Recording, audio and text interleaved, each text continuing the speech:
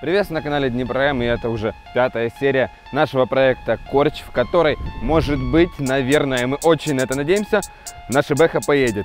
Да, это не Корч, я просто хотел вам похвастаться, что у меня новая тачка. Так это ж не твоя машина, ты ж в аренду взял. Тебя вообще кто-то спрашивает? Поехали. Наш корч потихоньку начинает приходить в здоровое состояние. Новые тапочки, которые мы уже привели в порядок, и немного позже покажем результат. Новая подвеска, в общем, изменений миллион, но пока что старый внешний вид, и это мы скоро исправим.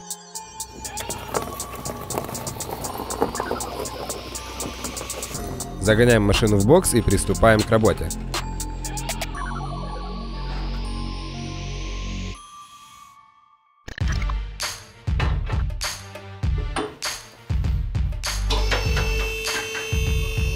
Тачка снова на подъемнике. Напомню, что выпуск мы взяли с X5.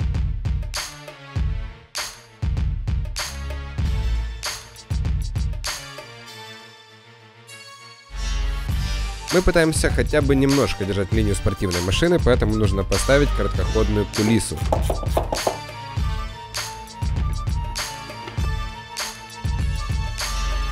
Логичным продолжением после установки коробки и мотора а, является установка кулисы, а, и ее сюда поставили короткоходную, которая прям вообще так четенько включается, очень маленький ход, а, что в принципе будет очень удобно во время гонки.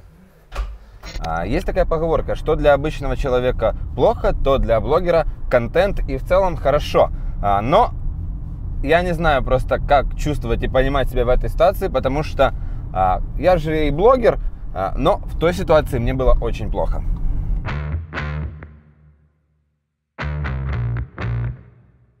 Возвращаемся к мотору. Во второй серии, по-моему, нет, в третьей серии мы его купили, привезли. А, Он пролежал пару месяцев на улочке, и мы не знали, что с ним а, есть некоторые проблемы. А, Был треснутый поддон. Мастера решили его снять, заглянуть, и оказалось, что там масляный насос прижат болтами, да и в целом там гора болтов лежит в самом поддоне. Сейчас их уже немножко понаживляли, но следы контакта болтов с деталями двигателя изнутри остались, и это проблема.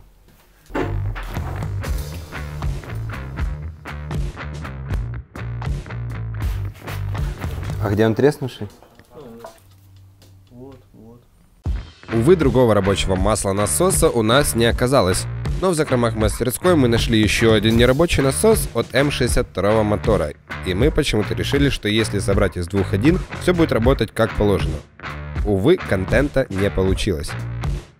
А вот собрать из двух нерабочих насосов один удалось очень даже успешно.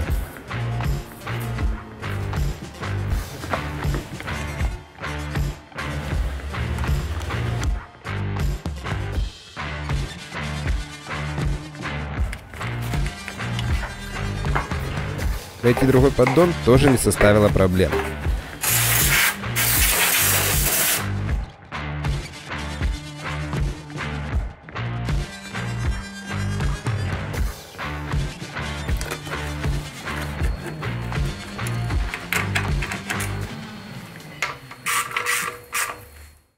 Ну вот и все, мотор здоров. Как оказалось, здоров настолько, что масляному стакану места под капотом не нашлось.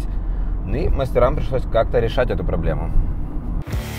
Для начала от стакана отрезали массивный рычаг крепления к двигателю. У ребят в пульвике оставалось немного красной краски и они решили покрасить днище. Чуть-чуть.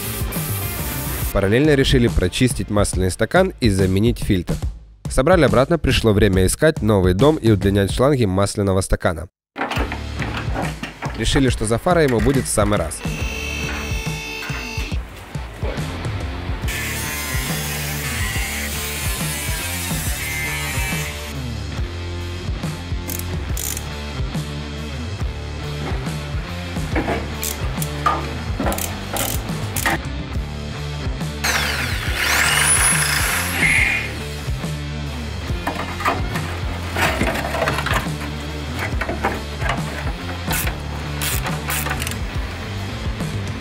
Стакан установлен.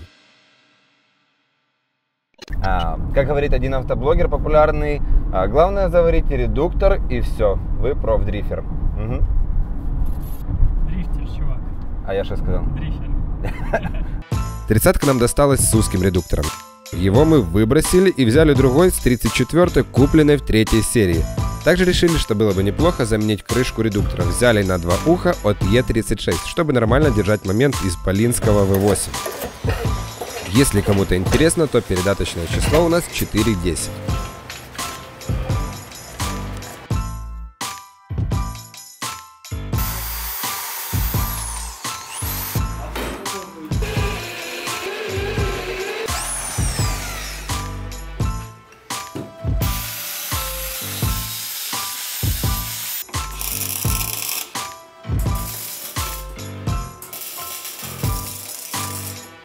И да, под второе ухо приварили еще одно крепление, так как завода его не было.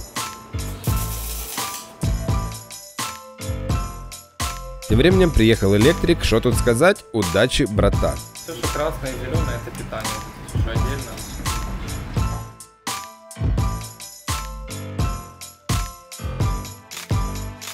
Сейчас, сейчас, сейчас. Короче, подъехали тормозные суппорта.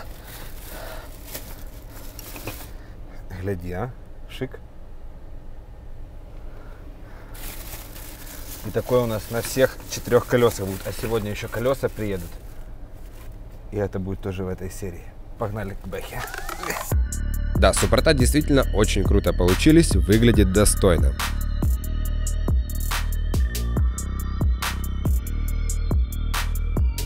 Пришло время поговорить немного про топливную систему. Естественно, мы заменили полностью все трубки, ну а бензобак на первое время мы взяли с той же 34 Там он был на 20 литров. В родной системе 30 бензонасос подвесной нам он не подходил ввиду маленькой мощности. Пока было решено оставить погружной с той же 34 но новый мы уже заказали и вскоре его установим. Наша песня хороша, начиная сначала. С таким слоганом мы вернулись к электрике. Ребят, короче, просто это невероятно, просто пушка. Мы едем в тридцатке. А это значит что? Значит, что приехали колеса.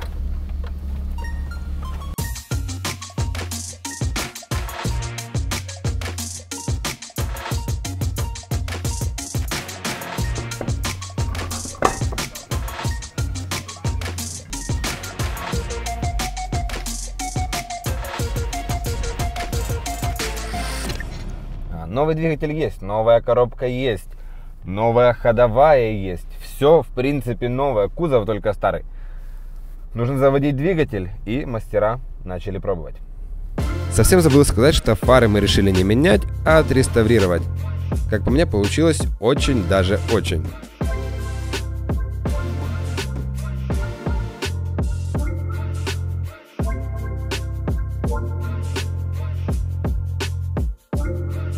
До готовой системы охлаждения нам оставалось только прикрутить вентилятор. Этим и занялся наш механик.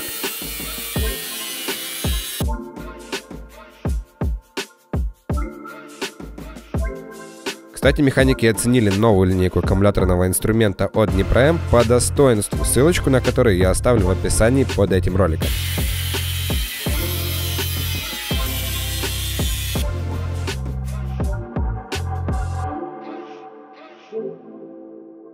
Параллельно с установкой вентилятора в салоне Корча кипела работа по установке гидроручника и краника, перекрывающего один из тормозных контуров.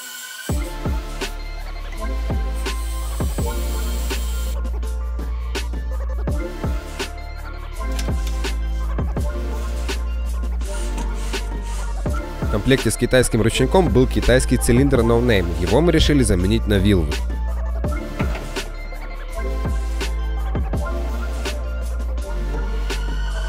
Я вам сейчас что-то покажу. Смотрите, вот раз BMW, вот какая вот тут красивая а, штучка под номер. Идем вторую BMW посмотрим. А, красивая штучка под номер. Между фарами в глубине, в глубине. Вот тут то же самое, в глубине. Идем еще, ладно, чтоб на Верочку еще одну BMW посмотрим. А, еще одна, то, точно так же. В глубине рамка под номер. А, и честно, я обошел все BMW и не нашел ни одной а, такой, как у нас. Поэтому сейчас покажу нашу. И мы чуть- чуть-чуть поколупаем. У нас тут вот такая вот тема за шпаклей. Колупаем.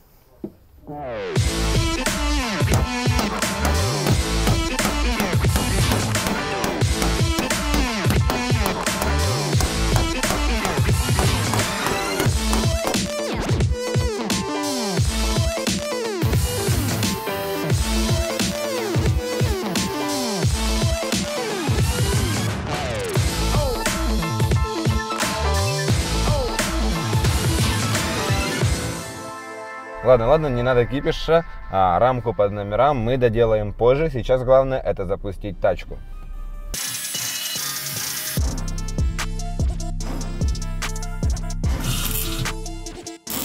Ручник экран установили, теперь пора прокачать тормоза.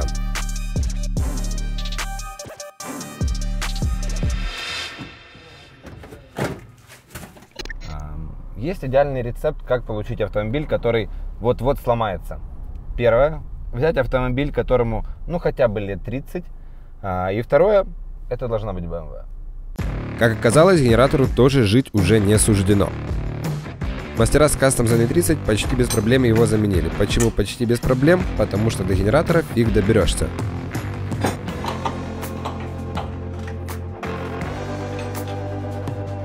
Пришло время в уже заваренный редуктор залить масло, ведь скоро первый запуск.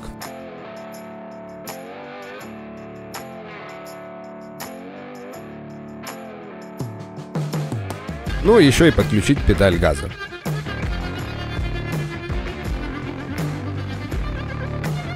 Вроде все подключено, вроде все работает, мотор дыркает, но не запускается. Одновременно очень волнительная и очень смешная ситуация. Волнительная потому, как я уже очень давно жду запуска, а смешная потому, что мы забыли залить бенз.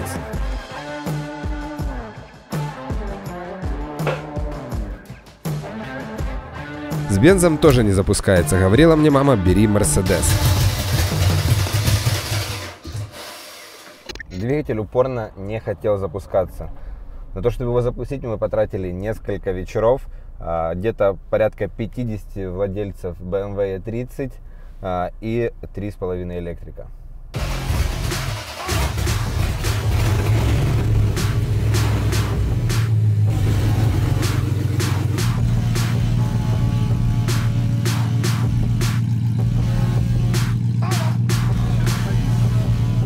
После всех потух Бэха проехала свои первые несколько метров самостоятельно.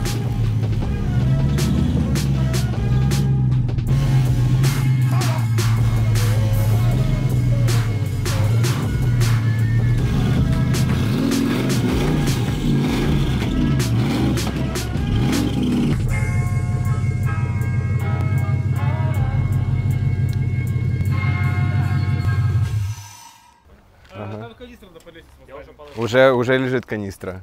Короче, э, только что сами все видели, она уже выехала своим ходом впервые за э, 8 месяцев.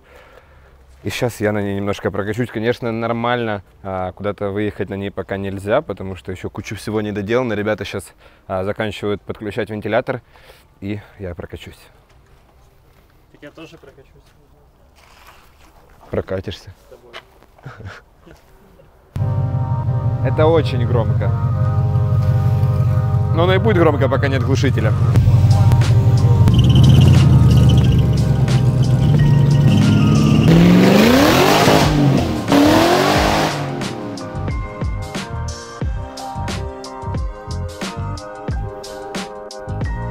Впереди что-то дико валящее. Короче, я не мастак, в принципе, гонять, я максимум шашки в потоке поиграть. А, поэтому сейчас, пока за рулем Виталик, публика требует, бу- требует бернаута. И сейчас он будет.